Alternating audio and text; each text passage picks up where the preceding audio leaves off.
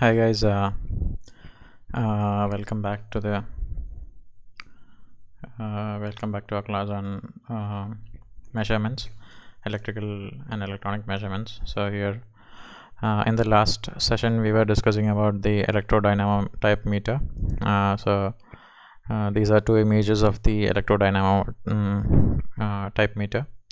So here in this image, I think. Um, it is clearly visible. There is a and there are uh, two images from two different angles of the same uh, meter. So here you can see there are uh, two coils over here. Uh, so one is the coil from this uh, direction. The, these two are basically the fixed coils. So we have already seen the construction. There is a fixed coil uh, which is this. And then there is a moving coil right?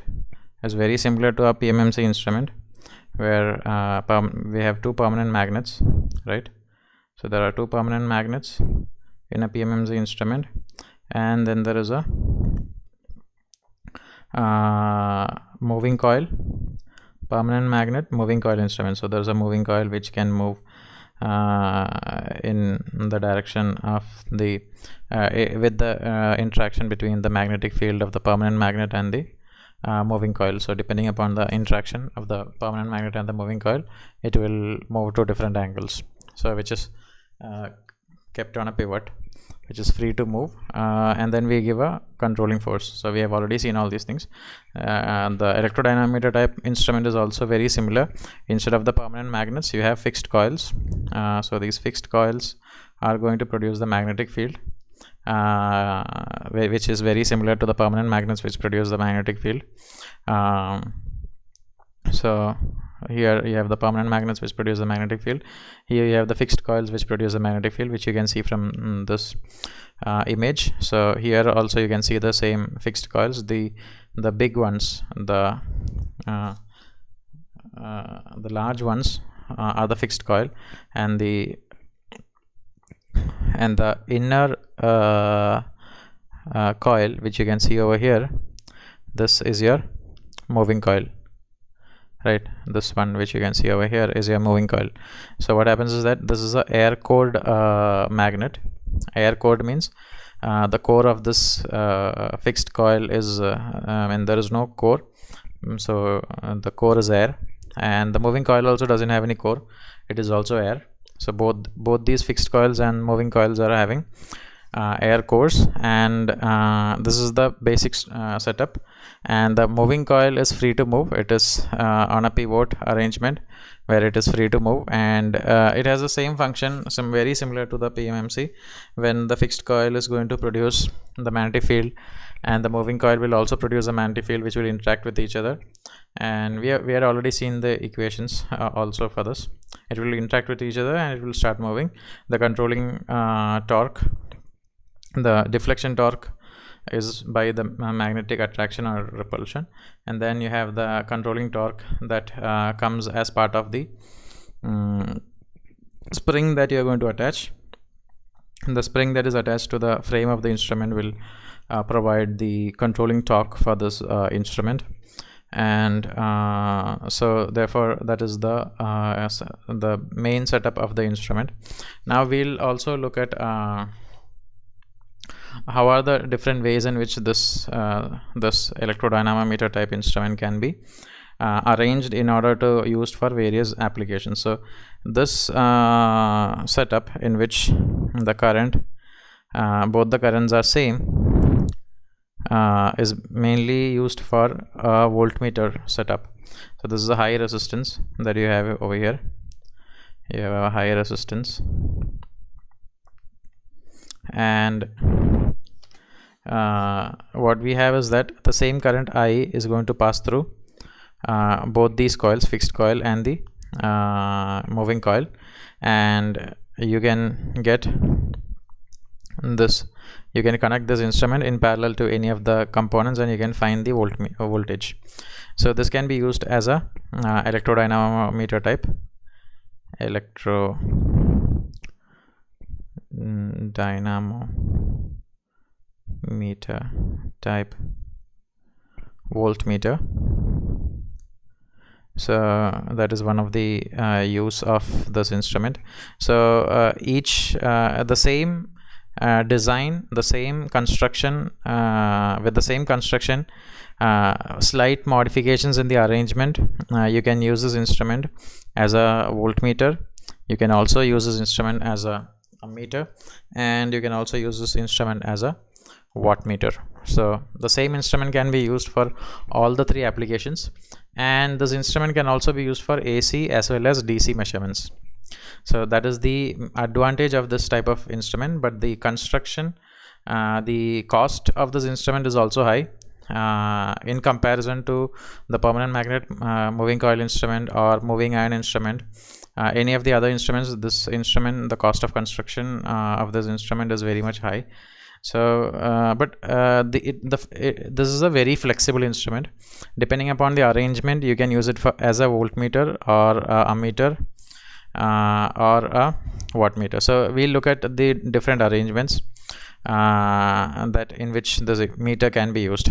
So uh, here we can see that uh, the moving coil is in series with the current coil or the fixed coil. This is the fixed coil. This is the uh, this is the moving coil so uh, wh what we have already seen is that uh, for the moving coil the current uh, should be very low uh, because that is the instrument itself. So you can also see that uh, here the moving coil the width the width of the coil or the radius of the coil is smaller in comparison to the width of the fixed coils.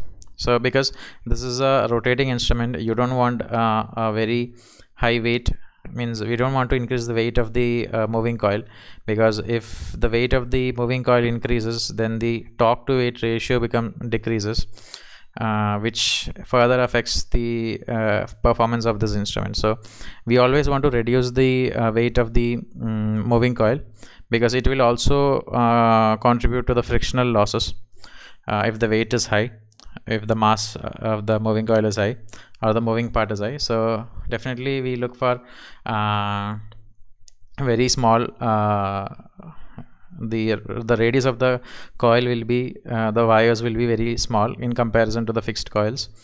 Uh, the, and therefore a very small current can only be passed through this moving coil so that's why uh, but in this setup there is no problem because uh, generally for a voltmeter we connect these uh, this instrument in parallel and we have a high resistance which uh, high resistance which block the uh, flow of current. So therefore uh, it doesn't matter even if we connect it in parallel. I mean when we connect it in parallel the moving coil even if it is connected in series with the fixed coils uh, still the current that flows through the moving coil will be very low.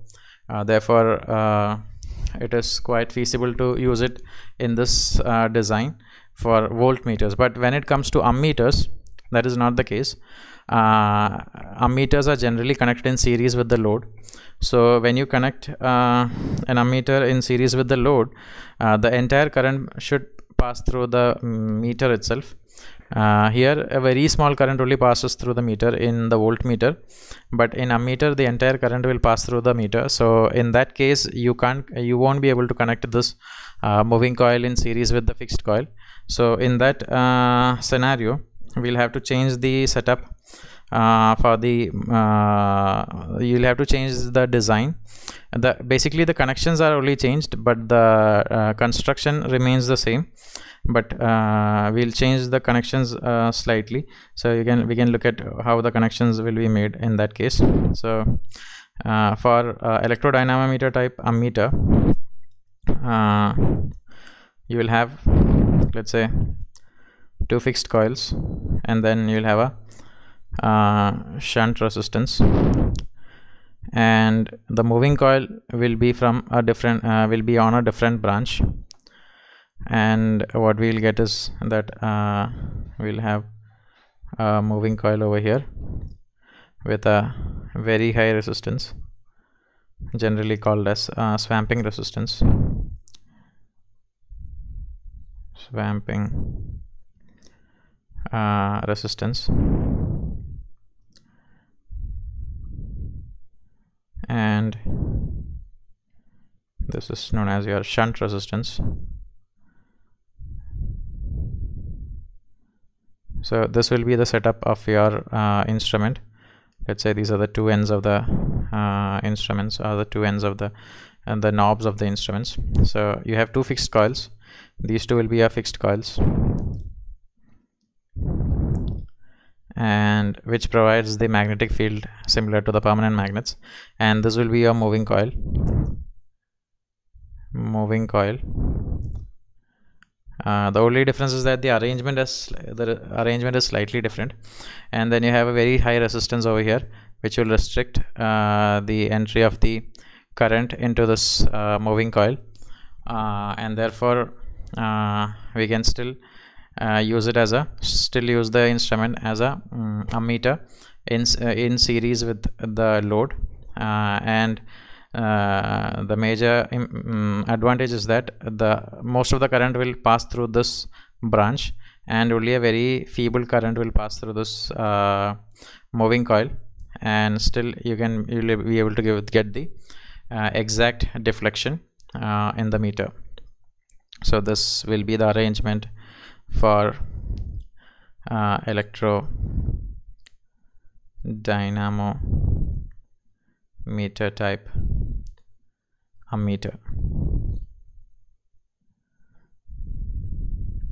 right? Now uh, let us look at uh, what is the arrangement that we can have for uh, the same uh, with the same meter for uh, the electrodynamometer type watt meter. So the same instrument with the same construction with slight modifications can be used for a watt meter electro dynamo meter type watt meter so here the uh, construction uh, is like I mean the construction is the same. You have two pressure coils sorry do you have two uh, current coils? We call it the current coils. So mm, or uh, it is the same uh, fixed coil uh, which is known as the current coil. And then we have a pressure coil uh, which is the moving coil. So the pressure coil will be the moving coil and then uh, it after the pressure coil you have a high resistance and it is connected in parallel with the load. So there is a difference in this setup uh, that the load or the uh, whatever uh, you want to measure the uh, power consumed by the load whatever load resistive or whatever inductive or whatever load you have over here when you want to find what is the power that is consumed uh, you you will be connecting this in this fashion. This is your uh, fixed coils. Uh, fixed coils. And this is your moving coil. And these two coils are known as your uh, current coils. The fixed coils are also known as current coils and this is known as your pressure coil.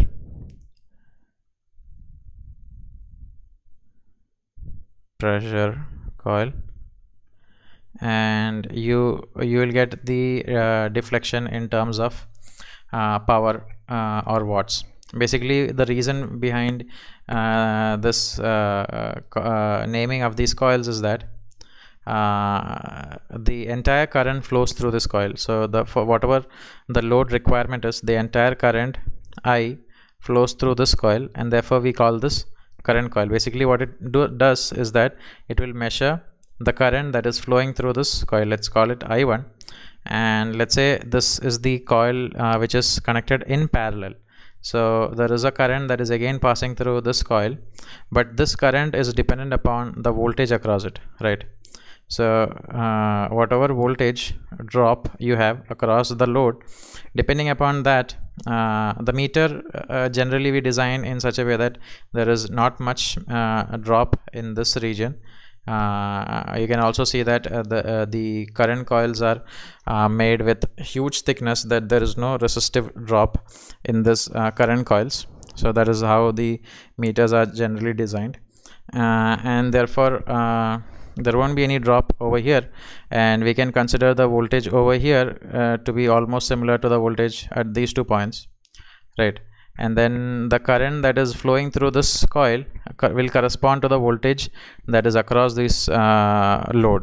So basically uh, whenever we, give the uh, function uh, the deflecting torque is equal to i1 i2 uh, so the general form for um, the deflecting torque is uh, i1 i2 cos phi uh, dm by d theta uh, which is the mutual inductance uh, change in mutual inductance per uh, d theta. So there is a uh, term called cos phi also. When you come when you consider this instrument to be working in ac with the ac source you will have to consider this cos phi. Now what is cos phi? Cos phi is the phase angle difference between i1 and i2 so generally uh, the phase angle difference will be uh, 0 uh, with between i1 and i2 and therefore this cos phi term will uh, tend to 1 so you will get the equation again as i1 i2 into dm by d theta. So this is the uh, uh, formula that we already discussed previously. So here this i1 will correspond to the current through the load and then I2 will correspond to the voltage by uh, the resistance. The voltage by uh, the resistance R of the instrument. Or they you can uh, use it as Z or R uh, depending upon the inductance of the coil. So uh, this current is going to depend upon on the voltage and the uh, resistance. Basically so what you're getting is the voltage into current that is the form that you are getting.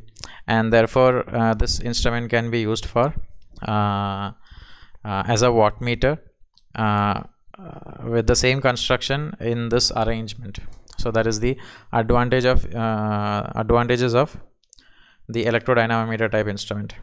So I think uh, it is clear uh, that we can use the instrument for as a, how we can use the instrument as a voltmeter ammeter and a wattmeter thus the construction doesn't change but uh, only the ch uh, the change is only visible in the um, in the connections how the connections are made the electrical connections. Now uh, we'll have a slight comparison between uh, the PMMC instrument that we have already discussed and uh, the electrodynamometer type instrument that we are currently discussing. So uh, yeah so let's look at what are the uh, problems that are there uh, with these two instruments uh, and what are the advantages that are there. So uh, firstly when we look at uh, a PMMC instrument we already discussed that uh, the instrument should have the the deflecting torque is given by the expression uh, td is equal to i1 i2 cos phi into dm by d theta. And cos phi is the angle between the phase angle between i1 and i2 so generally let's say uh, if we are taking the ammeter uh, if you are taking the voltmeter the current i1 and i2 are same. So it just becomes that there is no phase difference between i1 and i2 because it's the same current that is flowing through i1 and i2 so for so for uh, voltmeter it directly turns out uh, the electrodynamometer uh, type voltmeter it directly turns out that td is equal to i square dm by d theta because there is no uh, difference between i1 and i2 therefore the current is same and there is no difference in phase uh, angle. And therefore you get it as direct i square by i square into dm by d theta. But then when you look at uh, for ammeter uh, one thing the design parameter that you have to keep in mind is that uh, td is equal to i1 i2 cos phi into dm by d phi d theta so here we have to make sure that the L by R ratio uh, uh, so sorry uh, the yeah L by R ratio. L by R ratio is nothing but but the time constant. Uh, we can also say the time uh, time required to reach uh, 0.63 times of the final value which is known as the time constant uh, probably you might have learned it uh, in your 12th or maybe you will uh, even learn it in your uh, circuit analysis part. Uh, what is the time constant? So it is the time that is required to reach 0.6 of the final value of the current that is passing through this arrangement. So the L by R L is what? L is your inductance and R is your resistance. So for both these uh, let's say for ammeter you have the uh, the uh, moving coil and then you have a swamping resistance. And then for uh, your fixed coil is there and you have a shunt resistance. So if the value of L by R in this circuit and the L by R in this circuit is different then there will be change in phase angle. I mean there will be change in the phase. Uh, there will be a uh, the no longer the phi will be equal to 0 i1 and i2 will have different phases. So that is uh, not desirable because it won't give a proper uh, work proper uh, result. So what we do is that we make sure that the L by R ratio uh, is same. Let's say let's call this uh, L1 R1 and let's call the combined inductance as L2 and this is R2 so L1 R1 by L2 R2 the ratio of the inductance and resistance of both these circuits should always be equal. That is one of the design parameters that you have to uh, keep in mind. Uh, because uh, one reason is that the current uh, formation uh, or the uh, response you can say of the system should be same because both these are can be considered as two different systems and then the response or the time taken to respond or to reach 0.63 times the final value in both these uh, circuits should be the same. So uh, that is one thing that we have to keep in mind while uh, the construction for this device. Now we look at what are the differences. Uh, we were looking at we were about to look at what are the differences between uh, the moving coil uh, permanent magnet moving coil instrument and the electrodynamometer type instrument. So the first major difference is that um, in PMMC uh, we know that it is it can be used for only for DC currents uh, and uh, electrodynamometer type instrument. Sorry uh,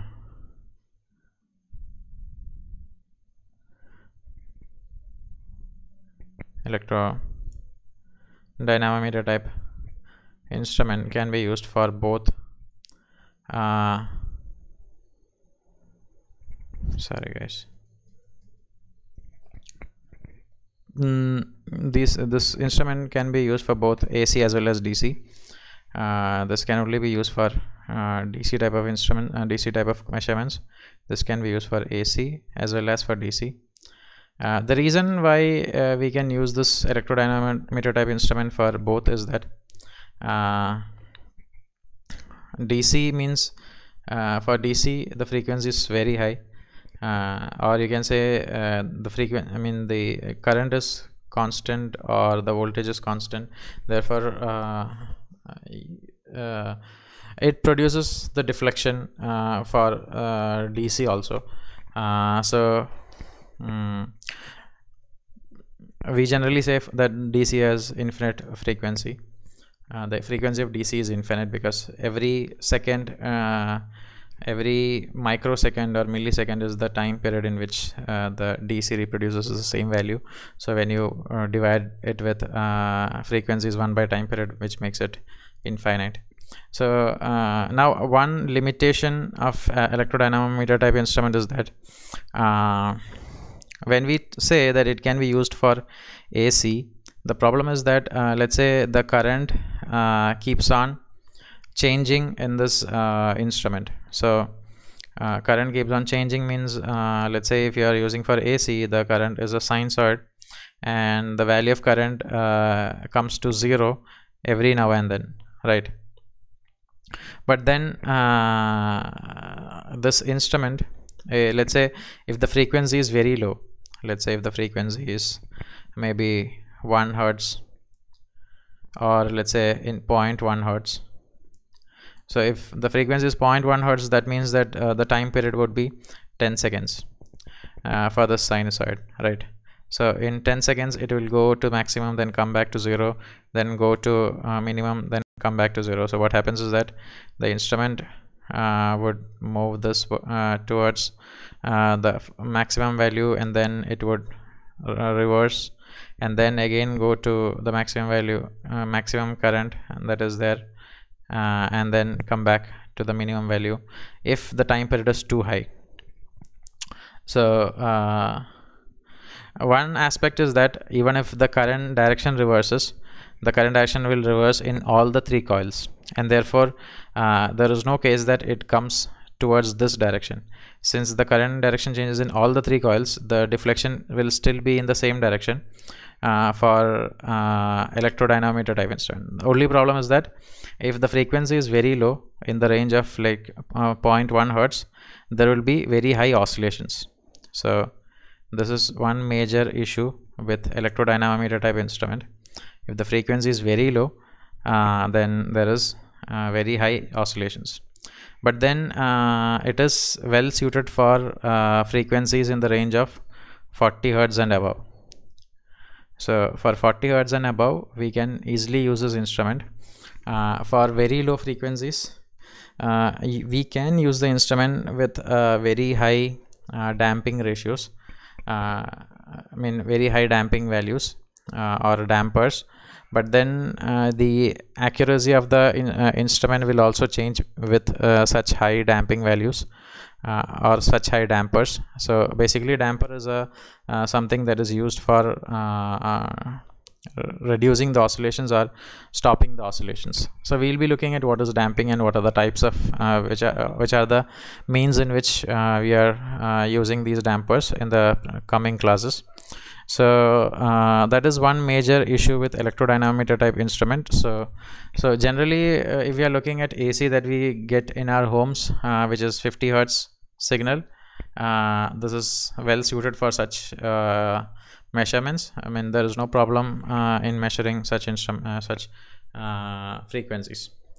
Now in pmmc you are you won't be able to use it for ac measurements because the permanent magnet uh, field doesn't change with the change in the current. So what happens is that the uh, if you look at if you take it for AC measurements uh, let's uh, the problem is that it will oscillate to both the directions. Uh, the moving coil uh, will oscillate to both the directions because the uh, the fixed uh, fixed coil there is no fixed coil in PMMC instead there is permanent magnets uh, in which the direction of the magnetic field never changes. Only the direction of the magnetic field in the moving coil changes because of which it will move to both the directions. And it is a meter that gives the average value of the uh, uh, average value of uh, whatever is being measured. So let's say if you give AC with high frequency uh, let's say in the range of 50 hertz uh, high frequency it will what it will show is it will uh, just stay at zero itself because zero will be the average value of the sinusoid. So if you take the positive half and the negative half and add it you will get it as zero. So that is a problem with uh, PMMC instrument. Whereas in the case of electrodynamometer type instrument we have already seen uh, that uh, the theta uh, is uh, equal to i square by k dm by d theta uh, after neglecting the cos phi term uh, for voltmeters. So for if it is ammeter then it is i1 i2 by k. So basically what happens is that here it is the, the reflection is uh, proportional to the square of the current which means that uh, it calculates the root mean square value. Um, mm, RMS value is what is being measured in uh, electrodynamometer type instrument. But here in PMMC instrument it is basically the average value that is being calculated. Uh, in electrodynamometer type instrument theta is equal to uh, BAN divided by K into I. So theta sorry. Uh, so BAN into K divi uh, divided by K into I uh, which makes it that the theta is proportional to I over here and then the theta is proportional to I square in electrodynamometer type instrument. So theta proportional to I in this type of instrument uh, and for electrodynamometer type instrument it is proportional to I square term. So here uh, if you take the RMS value uh, basically uh, even if you take it for DC measurements the RMS value of a DC uh, measurement is same as the uh, uh, measure the value itself. So it doesn't make any difference uh, in DC measurements as well. So that is the major advantage over here for uh, using this electrodynamometer instrument. The only thing difference is that uh, let's say the scale will not be linear for PMMC instrument the scale will be linear but for electrodynamometer type instrument the scale will not be linear in a scale in the sense uh, let's say you have a scale uh, on the instrument um, and let's say this is your zero uh, then you have one and then you have two uh, this will be the way in which you will have for uh, PMMC instrument at, but at the same time let's say for uh, for electrodynamometer type instrument the deflection is uh, deflection is equal to the square of the current. So let's say this is zero. So then after here you will have one but then uh, hmm, 2 square is 4 so this will be where you will have your 2 this will be 1 uh, the deflection from here to here will be 1 but then from here to here will be 2 and then so on it goes because it, it is uh, corresponding to the square of the currents right? The deflection is corresponding to the square of the currents. So hmm, uh, the scale is non-linear the scale is non-linear in this case uh, for electrodynamometer but here it is linear. Uh, these are the major differences uh, that we have. Mm. so I think we we had already discussed about this RMS value. Basically if you take all, all of these terms as a constant k then you have k into i square of t uh, which is the current. And uh, this is uh, this is your basically your uh, if you take uh, theta uh, as by averaging time over this current then what you have is that it is basically IRMS square. If we, when we average it over time when the i square is averaged over time. So that is the uh, measurement that you have because at high frequency basically what happens is that the theta is getting averaged over the time period. Uh, so I think uh, we have almost uh, discussed the uh, meters uh, in detail. And therefore I think we'll wind up at over here for this session. And then we'll look at the next topics like damping and uh, other phenomena uh, in the next class. So okay then guys i hope uh, the video is clear. Uh, if you have any doubts uh, you can directly contact me and i'll i'll address your doubts. So okay then guys